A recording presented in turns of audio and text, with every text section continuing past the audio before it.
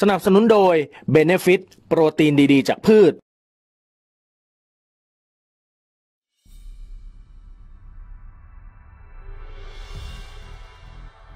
ตำรวจสอบสวนกลาง CIB โดยกองบังคับการตำรวจทางหลวง เจ้าหน้าที่ชุดจับกลุ่มกองกำกับการ 2 กองบังคับการตำรวจทางหลวง ร่วมกันจับกลุ่มนายพลอายุ 21 ปี ในความผิดฐานใช้ยานพาหนะที่มีน้ำหนักบรรทุกเกินกว่าอัตราที่กฎหมายกำหนด มาใช้บนทางหลวง เป็นผู้ประจำรถทำหน้าที่ขับรถโดยไม่ได้รับอนุญาต ใช้รถในการขนส่งโดยไม่เสียภาษี ประกอบการขนส่งโดยไม่ได้รับอนุญาต สามารถจับกลุ่มได้ที่ถนนพลดำริ ทางหลวง 346 กิโลเมตรที่ 63 ตำบลไผ่ หูข้าง อำเภอบางเลน จังหวัดนครปฐมโดยตามนโยบายของพลตำรวจโทจิรภพภูริเดชผู้บัญชาการตำรวจสอบสวนกลาง สั่งการให้เจ้าหน้าที่ตำรวจทางหลวงกวดขัน ปราบปรามรถบรรทุกน้ำหนักเกินกว่าอัตราที่กฎหมายกำหนดบนทางหลวงแผ่นดิน ต่อมาวันที่ 20 พฤศจิกายน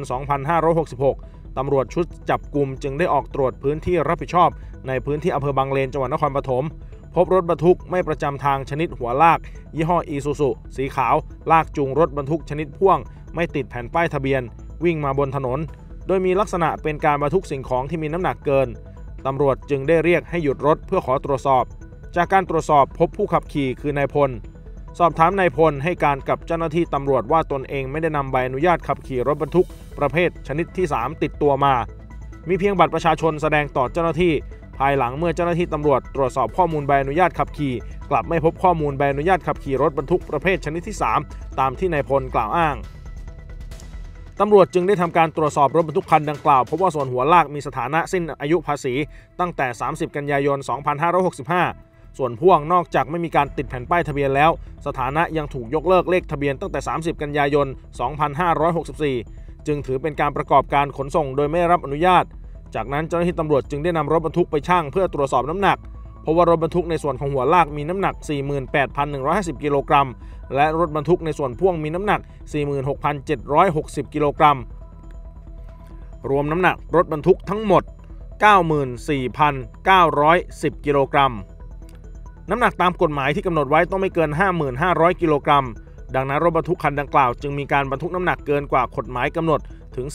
44,410 กิโลกรัม ชุดจับกลุ่มจึงได้แจ้งข้อกล่าวหาให้ผู้ต้องหาทราบ และนำตัวผู้ต้องหาพร้อมของกลางส่งพนักงานสอบสวนสพบางหลวงอำเภอบางเลน จังหวัดนครปฐมดำเนินคดีตามกฎหมายต่อไป ผู้ต้องหาให้การรับสารภาพตลอดข้อกล่าวหาให้การว่าตนเองถูกว่าจ้างให้ทำหน้าที่ขับรถบรรทุกทราย โดยไปรับขนทรายมาจากบ่อทรายไม่มีชื่อ ในพื้นที่ตำบลหนองพงนกอำเภอกำแพงแสนจังหวัดนครปฐมเพื่อนำไปส่งให้กับลูกค้าที่แพล้นทรายตำบลดอนตูมอำเภอบางเลนจังหวัดนครปฐมโดยผู้ต้องหาทำงานมานานกว่า 3 ปีได้รับเงินค่าจ้าง 400 บาทต่อเที่ยว